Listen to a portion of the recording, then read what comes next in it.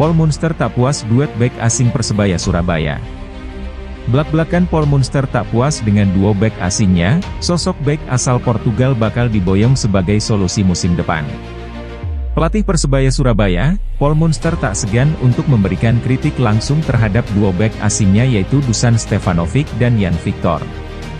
Kritik itu dilontarkan oleh sang juru taktik pada saat Persebaya Surabaya ditundukkan Persib Bandung dengan skor 3-1 pada Sabtu, 20 April 2024, lalu. Munster menyebutkan ketidakpuasannya serta menyoroti kinerja Dusan serta Yan pada pertandingan tersebut. Saya sangat kecewa dengan penampilan tim di babak kedua. Gol kedua, Persib, dua center back asing kamu tidak bisa mengantisipasi crossing lawan sehingga David bisa mencetak gol, ungkap Paul Munster usai laga. Ia sangat yakin, jika dua center back-nya sigap, David da Silva tidak dengan mudah mencetak gol. Situasi tentu akan berbeda. Ketidakpuasan yang diutarakan oleh Paul Munster tentu menjadi sinyal tersendiri akan adanya kemungkinan masa depan salah satu back-nya yang akan didepak. Terutama, Persebaya baru-baru ini dikaitkan dengan satu nama back asing asal Portugal yaitu Miguel Ferreira Campos atau akrab disapa Miguel Campos.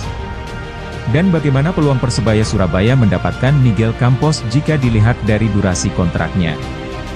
Dilansir dari Transfermarkt, Miguel Campos adalah bek berusia 27 tahun milik klub kasta tertinggi di Ukraina, FK Alexandria. Ia memiliki banderol senilai 2,61 miliar rupiah. Sejauh ini, Miguel Campos tercatat bukukan 20 pertandingan bersama FK Alexandria dengan bukukan total 1.352 menit bermain. Untuk peluang mendapatkan Miguel Campos, Persebaya Surabaya harus merogoh kocek lebih dalam karena kontraknya bersama FK Alexandria baru akan usai pada 31 Mei 2025. Sehingga, masih ada satu musim yang harus dibayarkan Persebaya Surabaya untuk menebus sisa kontraknya beserta biaya transfer.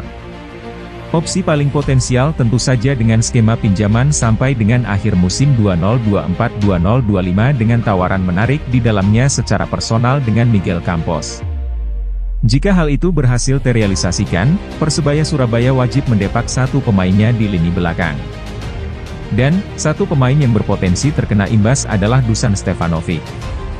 Mengingat, nasibnya masih abu-abu bersama Persebaya Surabaya musim depan. Sedangkan Yan Victor justru santer dikabarkan telah memperpanjang masa baktinya bersama Persebaya Surabaya hingga musim depan.